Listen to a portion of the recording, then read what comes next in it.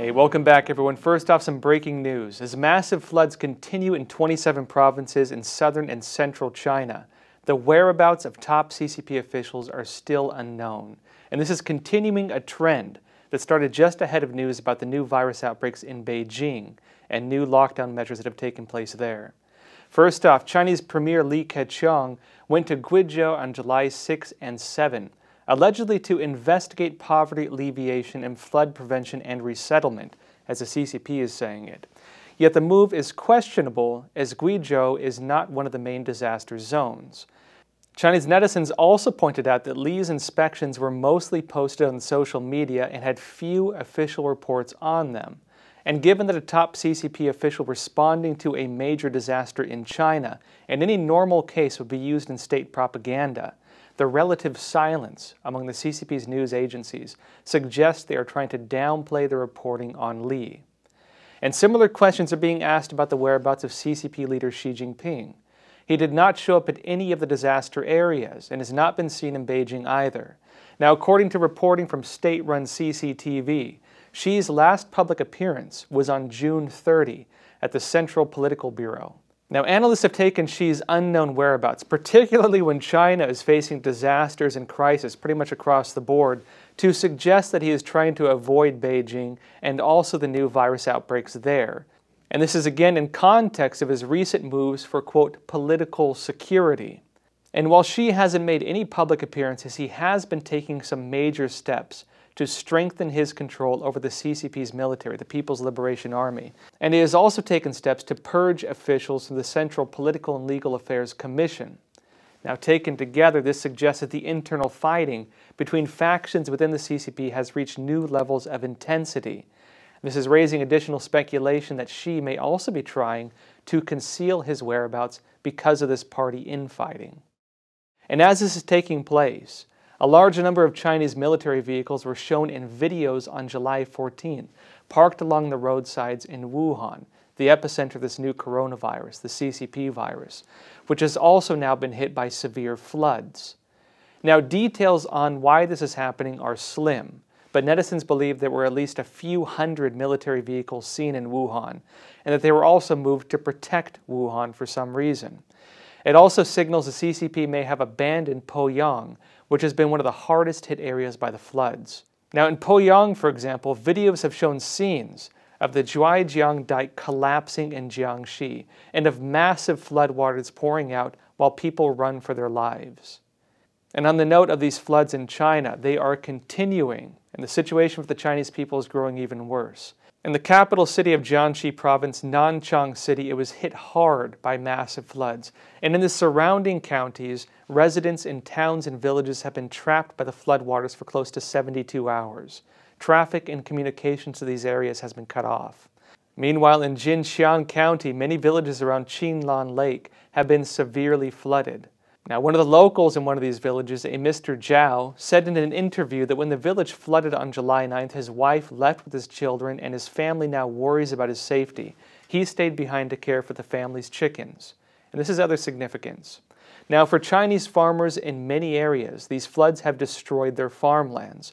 For some of these families, all they have left are a small portion of their livestock and chickens, and these have become essential for their survival. Mr. Zhao said he's concerned about the future based on this, and he's hoping the Chinese regime will offer relief. However, there has not yet been any aid from the Chinese government. And the CCP's plans for relief would grant only around 10 renminbi, which is about $1.50 per family that has been affected by these floods, and that won't even go directly to them. That'll go towards rebuilding infrastructure. Now, in other news related to Hong Kong, Chinese officials, entities, and even banks that were involved in the new national security laws in Hong Kong, which have effectively ended Hong Kong's autonomy, will now be hit with sanctions. Now, President Donald Trump signed a bill into law on July 14th that will now roll out these sanctions. Now, at a press conference, Trump said this, quote, Their freedom has been taken away, their rights have been taken away, and with it goes Hong Kong, in my opinion, because it will no longer be able to compete with free markets. A lot of people will be leaving Hong Kong, I suspect. Today, I also signed an executive order ending U.S. preferential treatment for Hong Kong. Hong Kong will now be treated the same as mainland China And adding to this, Trump also signed an executive order that will be ending U.S. preferential treatment of Hong Kong. Trump said this would, quote, hold China accountable for its oppressive actions against the people of Hong Kong. Now, in addition to this, there are also reports of a third wave of outbreaks in the new coronavirus, the CCP virus, in Hong Kong, where 42 cases have now been confirmed. Yet locals there are questioning the validity of these reports, given that these coincide with the CCP's establishment of the new National Security Office in the city. This is raising concerns that the CCP, the Chinese regime, is using the virus as an additional tool in order to forbid protests. Now, for the broader stories for today, first off, the Chinese Communist Party is trying to silence a dissident in Australia. Now, a Chinese woman living in Australia on a working holiday visa says Chinese authorities have been tracking and harassing her parents since April because of her criticisms against the CCP.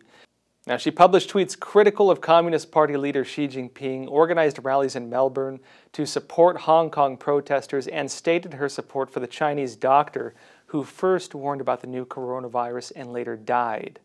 Now, the woman, whose name is Dong Wu Yuan and is nicknamed Zhu, spoke with SBS News in Australia. She gave them a video of one of the Chinese police officers speaking to her, and in the video, her father is also present, again suggesting her family is being pressured. The police officer saying in the video, quote, let me tell you, you need to remember you are a citizen of the People's Republic of China. You are not in the country, but remember, if China wasn't great and strong, you would have no status. Do you understand? It states that Zhu is warned to not insult Xi and is asked to hand over her Twitter password. And so what are we seeing here?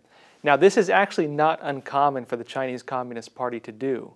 You might remember, for example, Anastasia Lin, who is this beauty queen in Canada, whose father was threatened because she started criticizing the Chinese regime's abuses of human rights.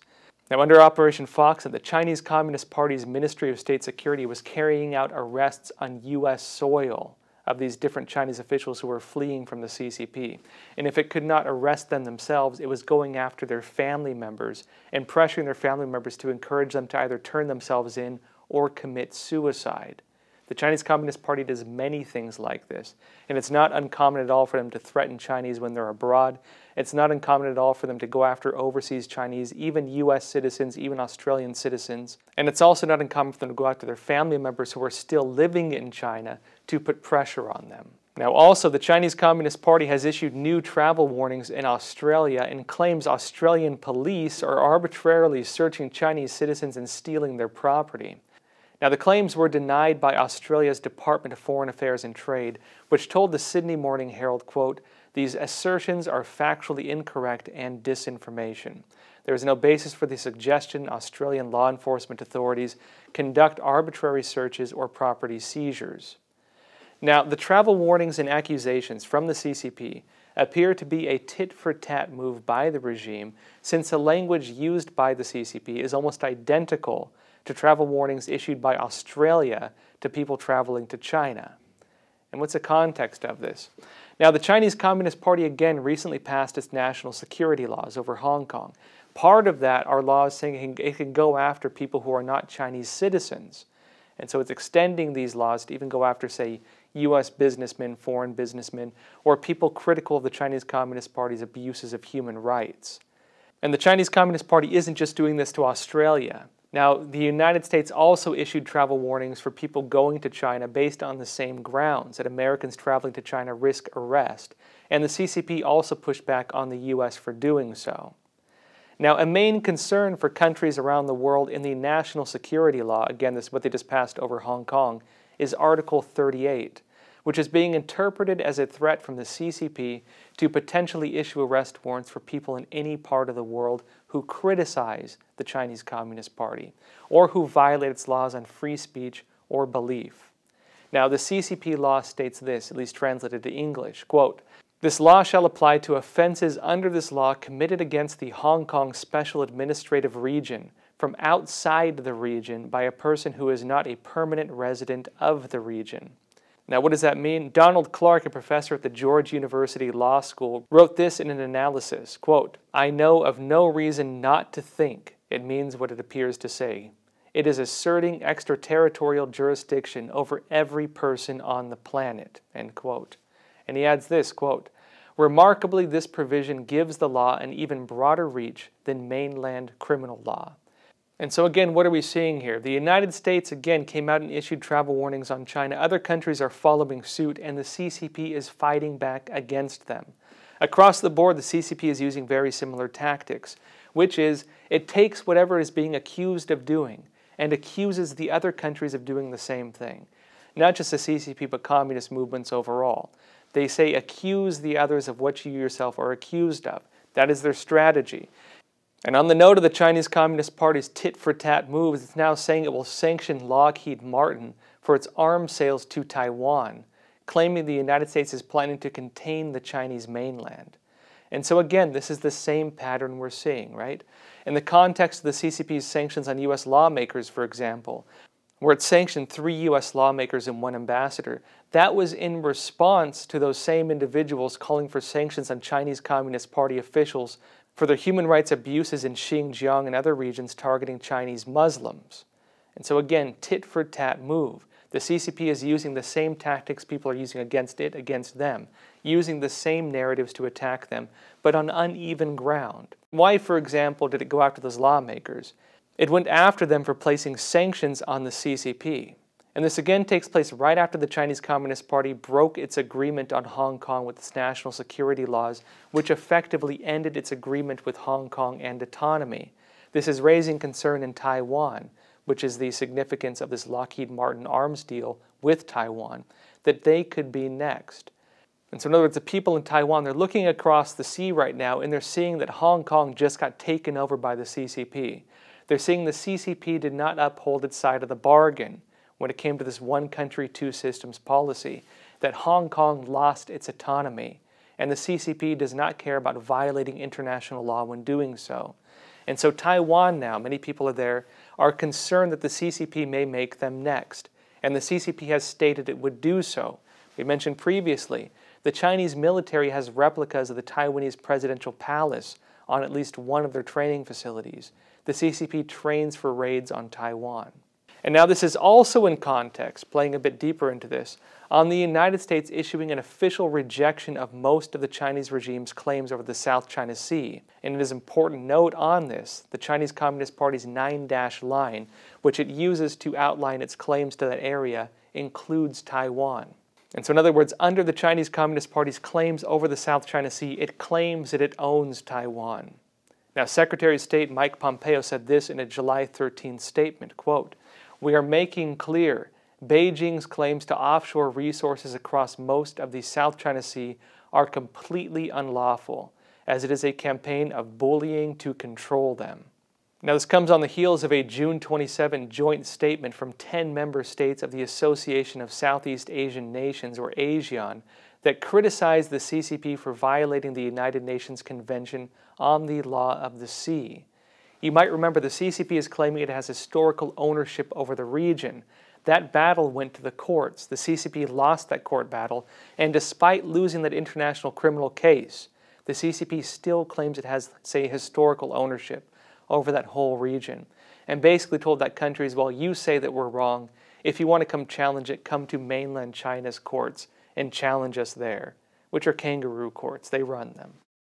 Now, in addition, there is increasing pushback against the CCP from countries around the world. The United Kingdom just announced that Huawei, this Chinese telecom company, that its 5G equipment must be removed from the country within seven years, and UK mobile providers will be banned from buying new Huawei 5G equipment after December 31st.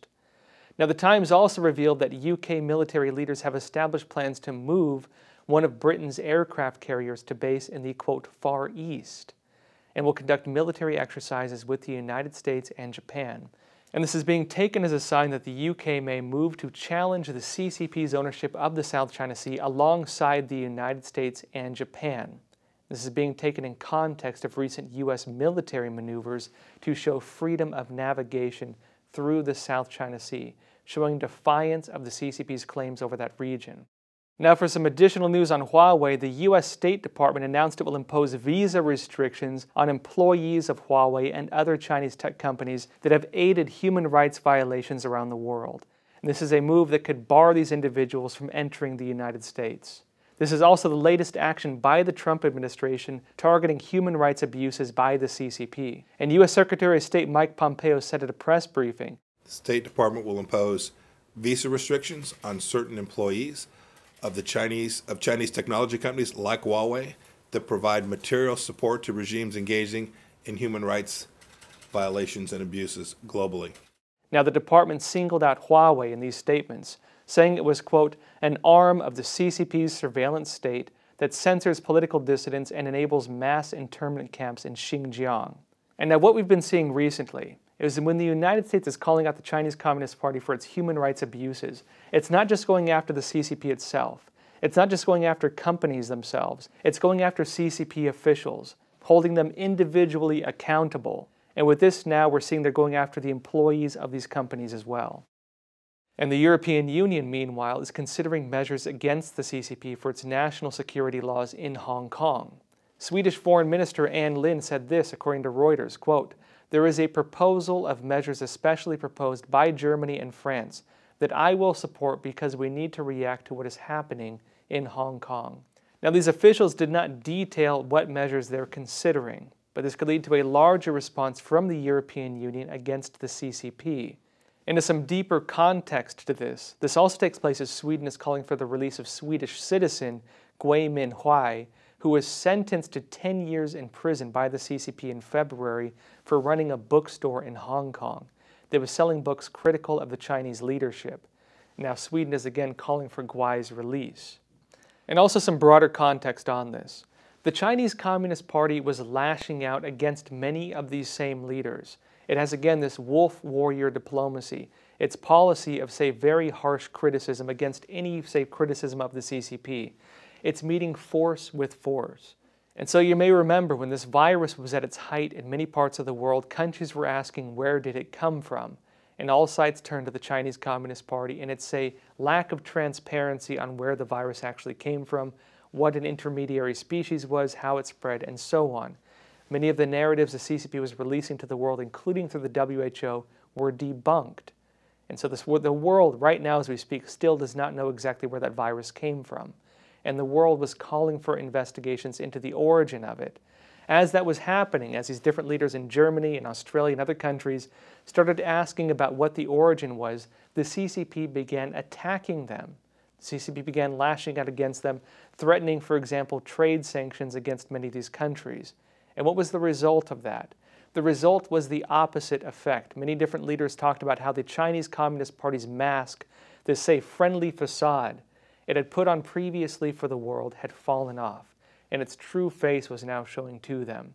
And now you see what's happening to it. The CCP's actions have had the opposite effect. These countries are now coming together to criticize the CCP. And also, the criticism against the CCP from the European Union is now expanding to measures against its actions in Hong Kong and its human rights abuses more broadly. In other words, they're, now they're no longer just talking about this virus. They're now criticizing the CCP for abusing its own people. They're criticizing the CCP for what it's doing in Hong Kong.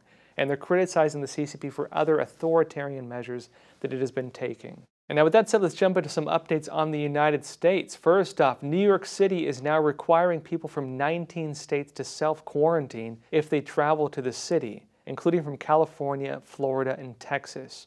And to enforce this, Governor Andrew Cuomo will require out of state travelers from the 19 states to submit their contact details when they arrive. And Cuomo wrote this on Twitter quote, If you fail to provide it, you will receive a summons and a $2,000 fine. Now, a State Department of Health traveler form will be given to people on their flights to New York State, and Cuomo will have enforcement teams at all state airports to collect them from travelers. Meanwhile, there's some new pushback against the mail in ballot policies, which mainly Democrats have been pushing for amid the pandemic. California election officials have rejected 100,000 mail in ballots for alleged mistakes, according to data obtained by Associated Press. And it claims that more than 70,000 were rejected because they were mailed after deadline, and more than 27,000 were either missing signatures or had signatures that did not match records. This is again tying into the concerns over the integrity of mail in ballots, whether they can lead to a fair election. And also in some non-virus news, a new bill would allow victims of the Seattle Chaz site to sue state and local officials for failing to protect their rights and their property. And if this bill passes, it could result in additional lawsuits against local officials themselves and cities and states where they're being accused of allowing violent protests and damage to local businesses to take place. And also on the note of Seattle, a petition to recall Seattle Mayor Jenny Durkan has been approved by a King County Superior Court judge. Again, and this is also something happening in many areas where you had these violent protests. And meanwhile, Trump has denounced what he's referring to as the quote, anti cop crusade, being pushed by some mayors, lawmakers, and political organizations. Far left mayors are escalating the anti cop crusade, and violent crime is spiraling in their cities. And he's now hearing from families who were helped by law enforcement. And around the same time as this, tying this all together, the George Soros backed Open Society Foundation issued a press release stating it would give $220 million to initiatives that would advance causes on racial justice and inequality. The money will allegedly go to emerging organizations and leaders for, quote, building power in black communities in the United States and help their efforts to, quote, sustain the momentum towards racial equality. And so, what's the broader context of this? Well, the United States just saw many different forms of protest sweep across the entire country. Actually, not just the United States, but many other countries as well, including in many parts of Europe. What happened? Now, reports are mixed, and you're going to have different views depending on which side of the political aisle you're on. But what we can say is that even organizers of these protests were claiming the protests were hijacked by people with very extreme motives. Again, there were claims of Antifa, there were claims, some, some saying far right organizations, evidence on that has been very slim. But what we do know is that Attorney General William Barr has said that they're going to be going after these extremist organizations that were behind these violent protests and riots. We have evidence that Antifa and other similar extremist groups, as well as actors of a variety of different political uh, persuasions, have been involved in instigating and participating in the violent activity. We have some uh, investigations underway and very uh, focused investigations on certain individuals that relate to Antifa. And again, I'll state my analysis on this. We really saw three to four different types of protests take place. Now, for example, there were the organized protests, many of which were planned by these different socialist organizations, such as Freedom Road Socialists. Many of these were openly planned by them or their affiliated groups. There were the grassroots protests, people legitimately going out and, say, expressing their grievances for things they believe in. There were opportunists, criminal organizations many times using this as an opportunity to go loot. And then there were different extremist organizations, allegedly such as Antifa and others, who were using this as an opportunity to push for their own agendas. Now, when it comes to this, investigations in the United States are being done right now to look into who these organizations are. And again, Barr has stated the U.S. government is now investigating these different organizations, and this is why we're not seeing mass arrests on these individuals.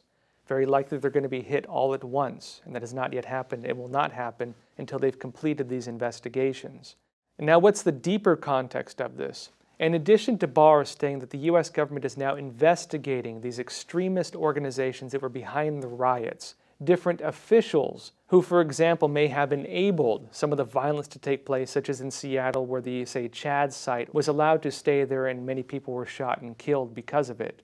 The people who were responsible for that, these different government officials who allowed this through their own policies, they may be sued by different people who were affected by the violence, by the crime, by the looting. And that happened in many parts of the United States. We'll have to see if this bill is passed. Again, one big difference would be whether the officials themselves can be sued or whether a lawsuit would harm taxpayers and the city, which is very likely how it would normally go if you were to file a lawsuit. We'll again have to see how this plays out. Now, again, folks are broadcasting this show Monday through Friday, five days a week, so be sure to tune in. And also, if you want to show your support for this channel, we do have a Patreon. You can find the link to it in the description below. And for our Patreon supporters, we'll be doing a live Q&A every Sunday. And also, folks, if you want to show your support in other ways, please like and subscribe on this channel. It really helps us. And also, if you can, please tell a friend or family member about this channel. Of course, folks, with that said, please take care of yourselves, stay healthy, and stay free.